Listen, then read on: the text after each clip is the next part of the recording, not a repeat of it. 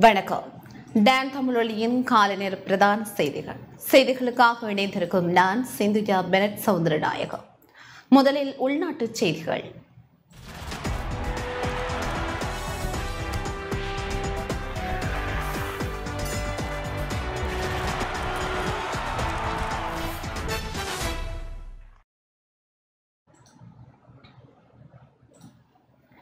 யாழ் மாநகரத்தின் சுற்றுலாத்துறையை அபிவிருத்தி செய்வதற்கான செயற்திட்டங்கள் தொடர்பான கலந்துரையாடல் நேற்று இடம்பெற்றது.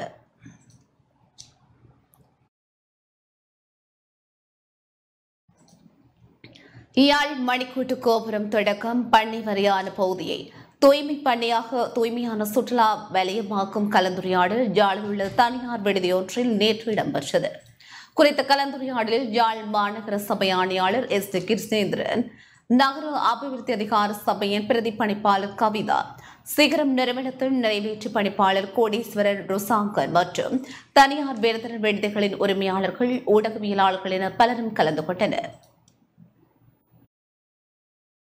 மாநகர சபையில் சுற்றுலா துறையை ஊக்குவிக்க வேண்டிய தேவைப்பாடுகளுக்கு இருக்குது. ஏனென்றால் எங்களுடைய பிரதேசத்தை அபிவிருத்தி செய்கிறதுல அல்லது எங்களை நாட்டில் தற்போதைய டிமா அதிகூடின தேவைப்பாடாக இருக்கிறது சுற்றுலா பயணிகளின் வருகையை ஊக்குவித்தல். அப்போ மாநகர சபையும் அதற்குரிய ஆரம்ப நடவடிக்கைகளை பலவற்றை எடுத்திருக்கு.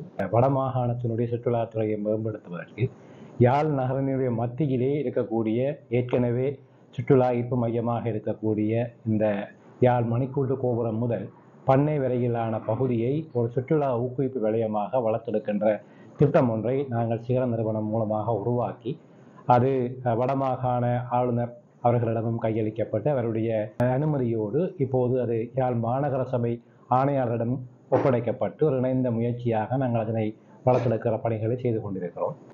மணிக்கூட்டு கோபுரம் அதற்கு அருகிலே எங்களுடைய கலாச்சார மத்திய நிலையம் பொது நூலகம் சிறுவர் பூங்கா சுப்பிரமணியம் பூங்கா அதேபோல் துறையப்பா விளையாட்டரங்கு எங்களுடைய டவுன் ஹால் நகர மண்டபம் புதிதாக கட்டப்பட்டு கொண்டிருக்கிற மண்டபம் விரைவிலே திறக்கப்பட இருப்பதாக சொல்லப்பட்டு கொண்டிருக்கிறது. அதேபோல் எங்களுடைய கோட்டை பண்ணை. இந்த பகுதிகளே தனித்தனி சதுக்கங்களாக அந்த பகுதிகளிலே ஆக்டிவிட்டீஸ் அதாவது நிகழ்வுகளை ஒழுங்குபடுத்தி அந்த இடங்களை நோக்கி எங்களுடைய உள்ளூர் மக்களாக இருந்தாலும் சரி சுற்றுலா பயணிகளாக இருந்தாலும் சரி வர வேண்டும் வர வைக்க வேண்டும் என்ற நோக்கோடு நாங்கள் இந்த பகுதியை ஒரு சுற்றுலா ஊக்குவிப்பு விளையமாக வளர்த்தெடுக்கின்ற திட்டத்தை வகுத்திருந்தோம். யாழ்ப்பாணத்தில் இருக்கக்கூடிய உல்லாச விடுதிகளிலேயே வந்திருக்க தங்கக்கூடிய உல்லாச பயணிகள் சுற்றுலாவிகளை இந்த நிகழ்வுகளை நோக்கி வரச் செய்வதும் இதனுடைய நோக்கமாக இருக்கிறது. இவ்வாறு நாங்கள் இந்த நிகழ்வுகளை படிப்படியாக வளர்த்தெடுப்போமாக இருந்தால் எதிர்வரும் ஆகஸ்ட் மாதத்துக்குள்ளே இந்த பகுதியை நாங்கள் டெவலப் பண்ணி எடுத்துருவோம் வளர்த்துருப்போம்னு சொல்லி அதுக்கு பிறகு மிக அதிக அளவு சுற்றுலா பயணிகள் இங்கே வருகின்ற காலம் என்ற காரணத்தினாலே இந்த பகுதியை நாங்கள் இன்னமும் அதிக நிகழ்வுகளோடு கூடிய ஒரு சுற்றுலா ஊக்குவிப்பு வலயமாக வளர்த்தெடுக்கலாம் என்கின்ற திட்டத்தை நாங்கள் வகுத்திருக்கிறோம். ஆரோக்கிய சுற்றுலாத்துறை என்ற விடயத்தை மையப்படுத்தி யோகாசனம் எங்களுடைய பாரம்பரிய ஆரோக்கிய உணவுகள் சுதேச மருத்துவம் ஆகியவற்றை நாங்கள் ஊக்குவிக்கும் வகையிலே அல்லது பிரபல்யப்படுத்தும் வகையிலே ஏற்கனவே பண்ணை கடற்கரை பகுதியிலே நாங்கள் அஹ், யோகாசன பயிற்சிகளிலே ஈடுபட்டு வருகிறோம். அந்த பகுதியை ஒரு ஆரோக்கிய சதுக்கமாக நாங்கள் பிரகடனப்படுத்தி அதே போல் இரண்டாவது விடயம் சுத்தம். எங்களுடைய இந்த பகுதியை நாங்கள் சுத்தமாக பேண வேண்டும். சுற்றுலா பயணிகள் வர வேண்டுமாக இருந்தால் நாங்கள் அதை ஒரு தூய்மையான பிரதேசமாக இருந்தால்தான் அந்த பகுதிக்கு நாங்கள் மக்களை வர செய்ய முடியும். என்ற அடிப்படையிலே தூய்மையாக்களையும் நாங்கள் பிரதானமான ஒரு ஒரு ஒரு நோக்கமாக அல்லது இலக்காக நாங்கள் கொண்டிருக்கிறோம். இவ்வாறான பணிகள் ஊடாக இந்த பகுதியை நாங்கள் முழு அளவிலே ஒரு சுற்றுலா பயணிகளை இருக்கின்ற தூய்மையான பகுதியாக வளர்த்தெடுப்பது எங்களுடைய பிரதான இலக்காக இருக்கிறது. எதிர்வரும் இருபத்தி மூன்றாம் திகதி சித்திரை மாத பௌர்ணமி தினத்திலே இந்த யாழ் கலாச்சார மத்திய நிலையத்திலே இந்த நிகழ்வு ஒழுங்குபடுத்தப்பட்டிருக்கின்றது. இந்த நிகழ்வினுடைய சிறப்பம்சமாக மேலதிகமாக யாழ்ப்பாண பாரம்பரிய ஆரோக்கிய உணவுகளுடைய ஒரு திருவிழாவும் அங்கே சிறிய அளவிலே ஒழுங்குபடுத்தப்பட்டிருக்கிறது. ஸ்ரீலங்கா சுதந்திர கட்சியின் தலைமை தொடர்பான வழக்கு கொழும்பு மேல்முறையீட்டு நீதிமன்றத்தில் இன்று விசாரணைக்கு வருகின்றது. ஸ்ரீலங்கா சுதந்திர கட்சியின் தலைமை தொடர்பாக சந்திரிகா பண்டார் நாயகா குமாரதுங்க தொடுத்த வழக்கு கொழும்பு மேன்முறையீட்டு நீதிமன்றத்தில் இன்று விசாரணைக்கு வருகின்றது. ஸ்ரீலங்கா சுதந்திர கட்சியின் தலைவர் பதவிக்கு மைத்ரிபால ஸ்ரீசேனா தகுதியற்றவர். அவரை பதவி நீக்க உத்தரவிடக் கோரி அந்த கட்சியின் முன்னாள் தலைவர். முன்னாள் ஜனாதிபதியுமான சந்திரிகா குமாரதுங்க நீதிமன்றத்தில் கடந்த நான்காம் தேதி வழக்கு தாக்கல் செய்தார். இதனை பரிசீலித்த நீதிமன்றம் மைத்ரிபால தலைவராக நீடிக்க தடை உத்தரவு பிறப்பித்தது. இதனிடையே உயிர்த்து ஞாயிறு தாக்குதல் தொடர்பில் மேற்கொள்ளப்பட்ட வழக்கு விசாரணையில் மக்களின் அடிப்படை உரிமைகள் மீறப்பட்டுள்ளன என்றும் நீதிமன்றம் தீர்ப்பளித்தமையும் மேற்கோள் காட்டி அவர் தலைவர் பதவியை வகிப்பதற்கான தகுதியை இழந்துள்ளார் எனவும் குற்றம் சுமத்தப்பட்டது. மேலும் மைத்ரிபால ஸ்ரீசேனா தனக்கு வழங்கப்பட்ட மக்கள் ஆணையை மீறி நல்லாட்சி அரசாங்கத்தில் பிரதமராக பதவி வகித்த ரணில் விக்ரமசிங்கவை சட்டவிரோதமாக பதவியிலிருந்து விலக்கி பாராளுமன்றத்தில் பெரும்பான்மையற்ற பிரிவினருக்கு பிரதமர் பதவியை வழங்க தீர்மானித்ததன் மூலம் யாப்பை மீறியுள்ளார் எனவும் குற்றம் சுமத்தப்பட்டது.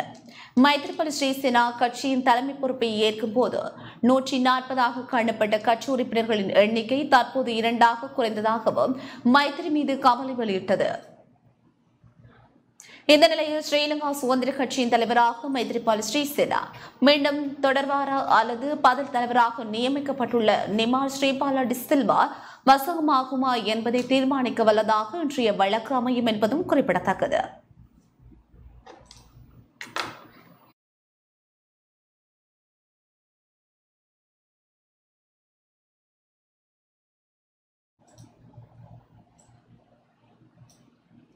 அருட்தந்தை ஸ்ரீல் காமினி பெர்னோண்டாவை குற்றப்புலனாய்வு பிரிவினர் விசாரணைக்கு முன்னிலையாகுமாறு அழைத்துள்ளனர். உயிர்த்த ஞாயிறு தாக்குதல்கள் தொடர்பில் அருட்தந்தை ஸ்ரீல் காமினி பெர்னாட்டோவை குற்றப்புலனாய்வு பிரிவினர் நாளை விசாரணைக்கு முன்னிலையாகுமாறு அழைத்துள்ளனர். கொழும்பு பேராயர் இல்லத்தின் ஊடக பேச்சாளரும் ஞானார்த்த பிரதீபயா என்ற சிங்கள கத்தோலிக்க வார இதழின் ஆசிரியருமான அருட்தந்தை பெர்னாண்டோ உயிர்த்த ஞாயிறு தாக்குதல் தொடர்பான சில விவரங்கள் தனக்கு தெரியும் என சிஐடியினர் நம்புவதால் இந்த அழைப்பாணியை தமக்கு அனுப்பியுள்ளனர் எனவும் தெரிவித்தார். அருட்தந்தை பெர்னாண்டோ கடந்த இரண்டாயிரத்தி இருபத்தி ஒன்று நவம்பர் மூன்று முதல் எட்டு வரியான காலப்பகுதியில் சிஐடியால் அழைக்கப்பட்டிருந்தார். அப்போது அவர் கைது செய்யப்படுவதற்கு எதிராக தடை உத்தரவு பெறப்பட்டிருந்தமையும் குறிப்பிடத்தக்கது.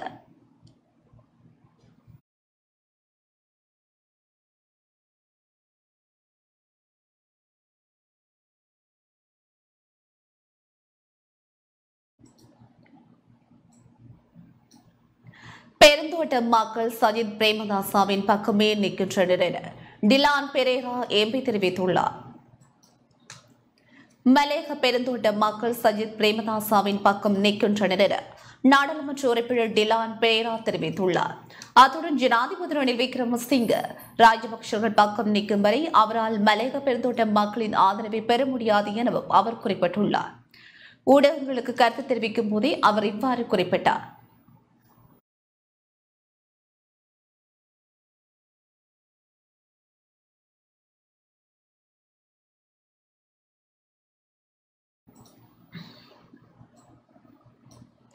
பிணைமுறை மறுசீரமைப்பு தொடர்பில் பத்திர உரிமையாளர்களுடன் தொடர்ந்து பேச்சு நடத்துவோம் என நிதிராஜாங்க அமைச்சர் ஷெஹான் சேமசிங்க தெரிவித்துள்ளார்.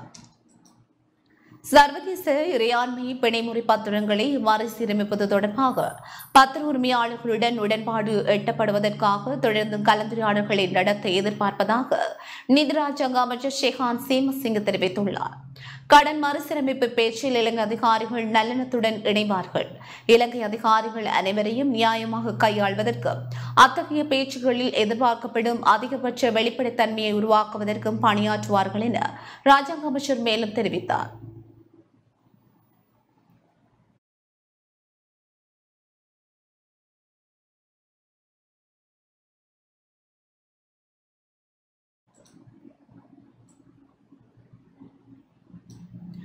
வடக்கு கிழக்கு மாகாணங்களில் வெப்பநிலை அதிகரிக்கலாம் என எதிர்வு கூறப்பட்டுள்ளது.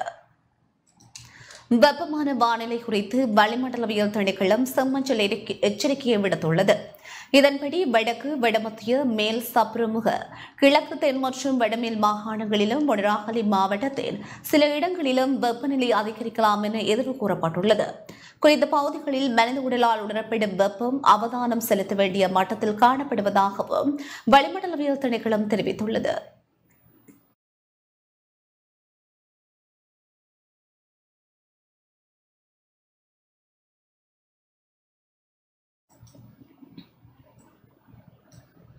இலங்கை தொழிலாளர் காங்கிரசின் சார்பில் கொழும்பு நாளை மாபெரும் எதிர்ப்பு ஆர்ப்பாட்டம் ஒன்று ஏற்பாடு செய்யப்பட்டுள்ளது. பெருந்தோட்ட தொழிலாளர்களுக்கு நாளாந்து அடிப்படை சம்பளமாக ஆயிரத்தி எழுநூறு ரூபாவினை வழங்குமாறு வலியுறுத்தி இலங்கை தொழிலாளர் காங்கிரசின் சார்பில் கொழும்பு மாபெரும் எதிர்ப்பு ஆர்ப்பாட்டம் ஒன்று ஏற்பாடு செய்யப்பட்டுள்ளது. தோட்ட தொழிலாளர்களின் சம்பள உயர்வு பேச்சுவார்த்தையை முதலாளிமார் சம்மேளனம் புறக்கணித்தமை மற்றும் சம்பள உயர்வு வழங்காமை என்பவற்றுக்கு எதிர்ப்பு தெரிவிக்கும் வகையில் இந்த ஆர்ப்பாட்டம் முன்னெடுக்கப்படவுள்ளதாக இலங்கை தொழிலாளர் காங்கிரசின் இடப்பிரிவு தெரிவித்துள்ளது. கொழும்பு கோட்டையில் ரயில் நிலையத்துக்கு முன்பாக நாளை காலை ஒன்பது மணி முதல் ஆர்ப்பாட்டம் முன்னெடுக்கப்பட உள்ளதாக அறிவிக்கப்பட்டுள்ளது.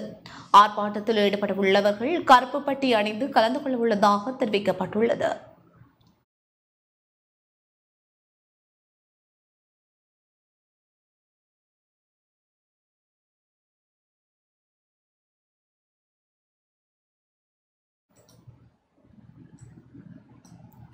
உடல் சுறுசுறுப்பற்ற வாழ்க்கை வலிவடைந்தது என சுகாதார மேம்பாட்டு பணியகம் தெரிவித்துள்ளது. இயந்திர பாவனையின் காரணமாக உடல் சுறுசுறுப்பற்ற தன்மை அதிகரித்து வருவதாக சுகாதார அமைச்சின் தொற்றா நோய் தடுப்பு பிரிவின் பணிப்பாளர் அலுவலக விசேட பொது சுகாதார வைத்திய அதிகாரி சிறில் பாலசிங்க தெரிவித்துள்ளார். கொழும்பில் நேற்று இடம்பெற்ற உடற்பியலாளர் சந்திப்பின் போதே அவர் இதனை தெரிவித்துள்ளார். மூளை இருதயம் தொடர்பான குருதி கலன்களில் ஏற்படும் நோய் காரணமாக மூளை அல்லது இருதயம் பாதிப்படையுது. அடுத்தது புற்றுநோய் நீழிவு நோய் மற்றது நீண்டகால தீராத நுரையீரல் நோய்கள். அப்போ இந்த நோய்களுக்கு காரணமாக இருப்பது சில ஆபத்து காரணிகள். அந்த ஆபத்து காரணிகள் வந்து உடலுக்கு தீங்கு விளைவிக்கக்கூடிய உணவு வகைகள். அதாவது முக்கியமாக நாங்கள் பார்த்தோம்னா சீனி உப்பு எண்ணெய். அதிகம் உள்ள உணவுகளோ குடிபானங்களை நாங்கள் உட்கொள்வது. அடுத்தது வந்து ஃபிசிக்கல் ஆக்டிவிட்டி குறைவான. அதாவது நாங்கள் உடல் இயங்கி வேலை செய்யும் அல்லது இயங்கும் சுறுசுறுப்பு தன்மை குறைவாக இருப்பது மற்றது மதுபானம் அருந்துவது புகைத்தல். மற்றது மென்டல் ஸ்ட்ரெஸ் அவதானத்துக்குரிய காரணங்களை நாங்கள் பார்த்தோம்னு சொன்னால் அநேகமாக நாங்கள் நோய்வாய்ப்பட்ட பிறகுதான் இந்த காரணங்களை நாங்கள் கவனித்து அதிலிருந்து நாங்கள் தவிர்த்து கொள்ள முயற்சி சொல்கிறோம் உடல் சுறுசுறுப்பு அற்ற தன்மையை பற்றி தான் நாங்கள் கதைக்கணும். சோம்பேறி தன்மை அல்ல சுறுசுறுப்பற்ற தன்மை தான் முக்கியமானது. டெக்னாலஜியோட சம்பந்தப்பட்ட பல கருவிகளை நாங்கள் பாவிக்கின்றோம்.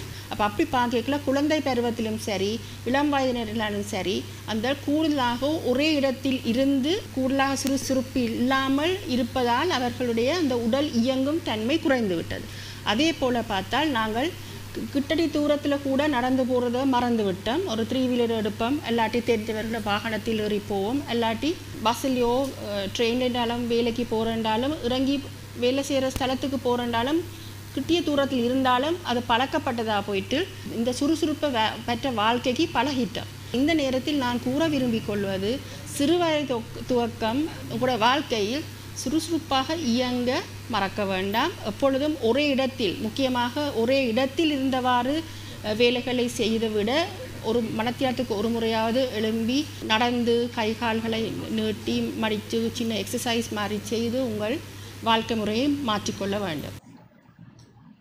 எந்த ஒரு மோசடியும் தான் மேற்கொண்டதில்லை என முன்னாள் ஜனாதிபதி மைத்ரிபால ஸ்ரீசேனா தெரிவித்துள்ளார்.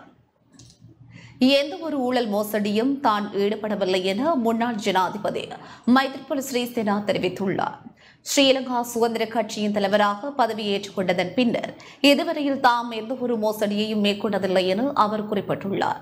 அவ்வாறு மோசடியில் ஈடுபட்டிருந்தால் எந்த ஒரு நபரும் அது குறித்து சவால் விடுக்க முடியும் என அவர் தெரிவித்துள்ளார். முன்னாள் பிரதமர் ஸ்ரீமாவோ பண்டரநாயக்காவின் நூற்றி எட்டாவது ஜனனத்தின நிகழ்வில் பங்கேற்ற போது அவர் இதனை குறிப்பிட்டுள்ளார்.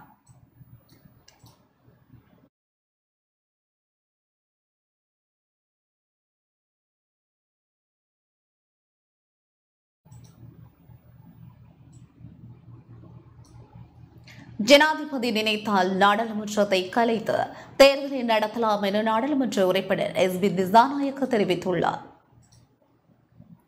ஜனாதிபதி தேர்தலுக்கு முன்னர் நாடாளுமன்ற தேர்தலை நடத்துவதற்கான முயற்சி வெற்றியளிக்காது என தான் நம்புவதாக ஸ்ரீலங்கா பொதுஜன பெருமனவின் நாடாளுமன்ற உறுப்பினர் எஸ் பி திசாநாயக்க தெரிவித்துள்ளார். அரசமைப்பு பிரகாரம் செப்டம்பர் அக்டோபருக்கு இடைப்பட்ட காலப்பகுதியில் ஜனாதிபதி தேர்தல் நடத்தப்பட வேண்டும். ஜனாதிபதி தேர்தலால் நாடாளுமன்றத்தை கலைத்து தேர்தலை நடத்தலாம்.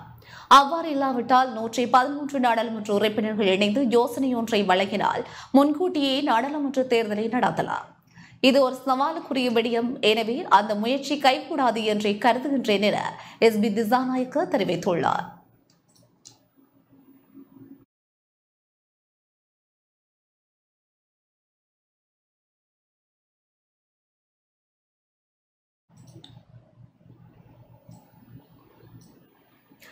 தமிழ் பொது வேட்பாளரின் அவசியம் பற்றி சுபத்ரன் எம்பி போன்றவர்கள் உணர வேண்டும் என இபிஆர்எல்எஃப் அமைப்பின் தலைவர் சுரேஷ் பிரேமச்சந்திர தெரிவித்துள்ளார். ஜனாதிபதி தேர்தலையும் பிற்போடு அரசாங்கத்தால் வியூகம் பாக்கப்படுகின்றது என இபிஆர்எல்எஃப் அமைப்பின் தலைவரும் முன்னாள் நாடாளுமன்ற உறுப்பினருமான சுரேஷ் பிரேமச்சந்திரன் தெரிவித்துள்ளார். ஜாலில் நேற்று ஊடகங்களுக்கு கருத்து தெரிவிக்கும் போதே அவர் இதனை தெரிவித்தார். தேர்தலை நடத்தாமல் தொடர்ந்தும் ஜனாதிபதி பதவியில் இருப்பதற்கான வியூகங்களை வகுக்கிறாரா என்ற கேள்வி எல்லோர் மத்தியிலும் எழுந்திருக்கின்றது. ஜனாதிபதி தேர்தலுக்கான காலங்கள் நெருங்கி கொண்டிருந்தாலும் கூட அந்த தேர்தல் நடைபெறுமா என்று சொன்ன ஐயங்கள் சிங்கள தமிழ் முஸ்லீம் மக்கள் மத்தியில் வியாபித்திருக்கின்றது. ஆகவே இன்னொரு அறகலைய போராட்டம் தேவையா? அல்லது ஒட்டுமொத்தமான நாட்டிலும் மக்கள் எழுச்சி எழுச்சி ஒன்று உருவாக வேண்டுமா போன்ற கேள்விகளும் எழுந்து நிற்கின்றது.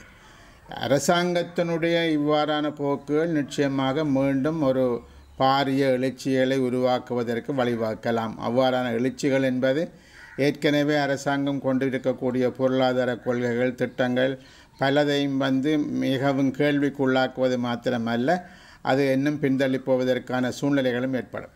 ஆகவே தேர்தல்களை கால வரையறை இல்லாமல் ஒத்திவைப்பதை விடுத்து அரசாங்கம் இந்த தேர்தல்களை நடாத்தி ஜனநாயகத்தை காப்பாற்ற வேண்டும் என்று நாங்கள் எதிர்பார்க்கின்றோம். ஒட்டுமொத்தமான தமிழ் தேசிய சக்திகளும் இணைந்து நாங்கள் ஒரு பொது வேட்பாளரை நிறுத்துவது பற்றித்தான் ஆலோசித்திருக்கின்றோம். ஆகவே சட்டத்திறனியான திரு. சுமந்திரன் அவர்கள் முன்னைய விடயங்களுக்கு நாங்கள் இப்பொழுது ஆலோசிக்கக்கூடிய விடயங்களுக்கும் இடையிலுள்ள காலகட்டங்களையும் நிகழ்வுகளையும் தேவைகளையும் அன்று நடந்தது போல்தான் இன்று நடக்கிறதா என்ற பல்வேறுபட்ட விஷயங்களையும் அவர் பகுத்தாராய வேண்டும். ஆனால் வெறுமனே வந்து வீம்புக்காக நாங்கள் இதனை எதிர்க்கிறோம் என்ற காரணத்துக்காக அவ்வாறு சொல்லிட்டு போவதால் எந்த விதமான பிரயோசனமும் ஏற்படப் போவதில்லை. உள்நாட்டு செய்திகளை தொடர்ந்து தொடர்கின்றது உலக செய்திகள்.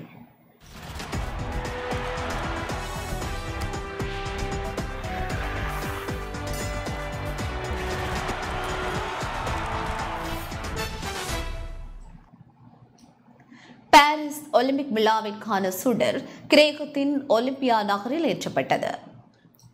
இரண்டாயிரத்தி இருபத்தி நான்கு பாரிஸ் ஒலிம்பிக் விழாவிற்கான சுடர் பிரதான ஒலிம்பிக் பிறப்பிடமான கிரேக்கத்தின் ஒலிம்பியா நகரில் ஏற்றப்பட்டது.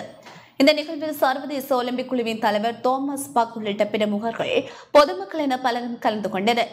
நவீன ஒலிம்பிக் விழாவின் போது சுடரை பே- பேரணியாக ஏந்திச் செல்லும் வழமை ஆயிரத்தி தொள்ளாயிரத்தி முப்பத்தி ஆறாம் ஆண்டு ஜெர்மனியில் பெர்ல் ஒலிம்பிக் விழாவின் போது ஆரம்பிக்கப்பட்டிருந்தது.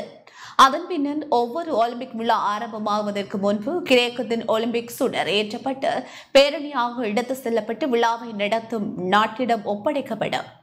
இந்த நிலையில் இவ்வாண்டுக்கான சுடரை கிரேக்கம் முழுவதும் ஐந்தாயிரம் கிலோமீட்டர்களுக்கு பதினோரு நாட்களாக அறுநூறு பேர் ஏந்தி செல்ல உள்ளனர் ஒலிம்பிக் தங்க பதக்கம் வென்ற கிரேக்கத்தின் ஸ்டெனபஸ் ஸ்டொனஸ்கோஸ் ஒலிம்பிக் சுடர் பவனியை ஆரம்பித்து வைத்துள்ளார். ஒலிம்பிக் சுடர் இம்மாதம் இருபத்தி ஆறாம் தேதி பிரான்சுக்கு கொண்டு செல்லப்பட்டு பாரிஸ் ஒலிம்பிக் விழா ஏற்பாடு செய்யப்பட்ட குழுவினரிடம் உத்தியோகபூர்வமாக கையளிக்கப்பட